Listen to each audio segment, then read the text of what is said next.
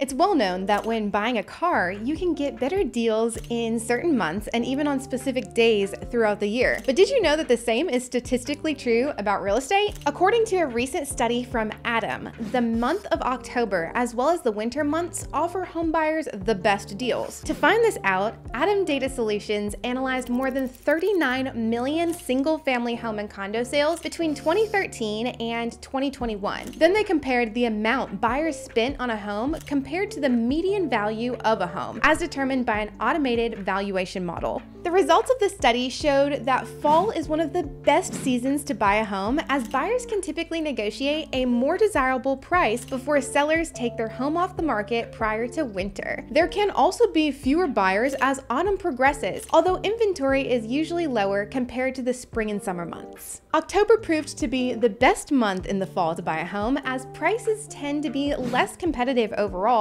but inventory still remains at a good level coming out of the summer. If you are looking to to buy where severe winter weather is a concern though, buying during October still gives you time to settle in before the brunt of winter arrives. As you can see in this chart, the colder months are a great time to house hunt. Homebuyers statistically have paid lower premiums on homes that close in October, November, December, and January. There's far less competition and many listings may have been on the market for a while, meaning that sellers are more motivated to make a deal. The housing market tends to be a lot more active in the spring and summer than in the winter. Many people want to get settled in a new home before the school year begins in the fall. Even if they don't, they usually need to take advantage of the increased level of listings from sellers that do. As we move down this chart, you can see that the premiums really start to increase. July, June, April, and May have proven to be the most expensive months of the year to close on a new home,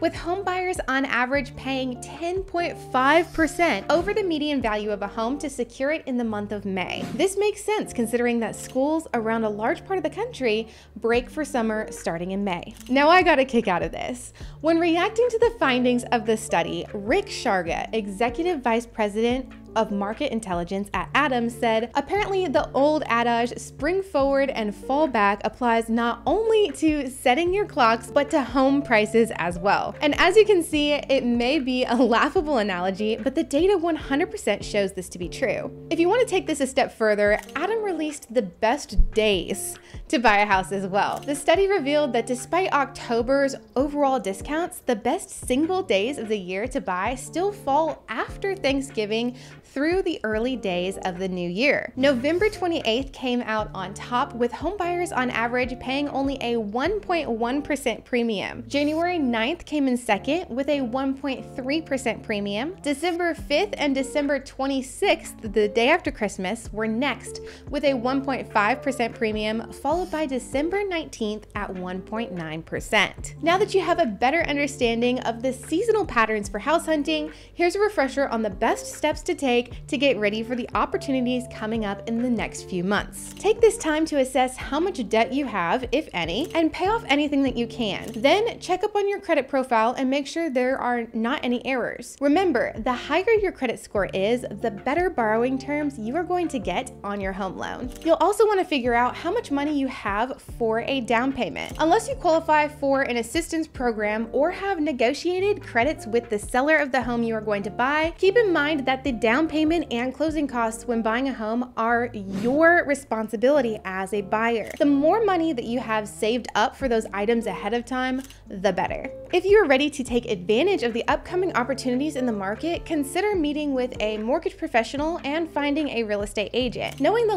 loans that you qualify for and having a great agent by your side is only going to make your purchase smoother. Now is the time to get started if you plan on buying a home this fall or winter. And my assistance doesn't stop here with this video. I will help you get matched with the best agent to assist you with your purchase and set you up with additional resources 100% free of charge. In the description of this video, you will find a link where you can tell me a little bit about where you're looking to buy and your timeline, and I'll make sure you have a winning team by your side. And if you're not quite ready to jump into the home buying process, that's completely understandable. I'd recommend checking out this video to learn more about the steps of buying a home from start to finish, along with what you need in order to determine if buying now makes the most financial sense for you. I'm Nicole Nark with videos to help you find your way home, and I will see you in the next one.